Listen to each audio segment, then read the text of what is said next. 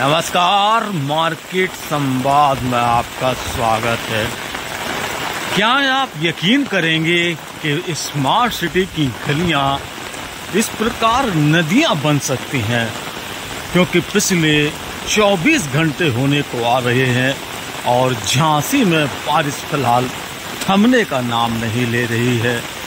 ये इलाके जो आप देख रहे हैं, ये पास कॉलोनी आवास विकास है उत्तर प्रदेश की झांसी का। और यहाँ फ़िलहाल आप ये देख सकते हैं कि संगम विहार की तरफ़ जाने वाले रास्ते का ये नदी का स्वरूप कैसा है और यहाँ से जो वाहन आ रहे हैं, वह कितने गहरे पानी में डूबते हुए हैं। और ये देखिएगा, ये मुख्य मार्ग की तरफ़ जाने वाला रास्ता है, वो कितने पानी में डूब गया है। झम बारिश के साथ जो सड़कें हैं, वह लगभग लगभग दो से तीन फुट गहरे पानी में डूब चुकी हैं। इस समय हालात बहुत ज़्यादा कह सकते हैं कि खतरनाक स्थिति में है। और यूँ तो अभी भी बारिश का जो कहर है, वह किसी भी रूप में कम होने का नाम नहीं ले रहा है।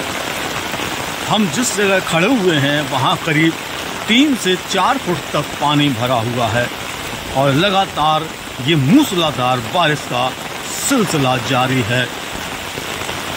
सड़कों से हर गली तक जहाँ भी आप नज़र दौड़ाएँगे, यही हाल है।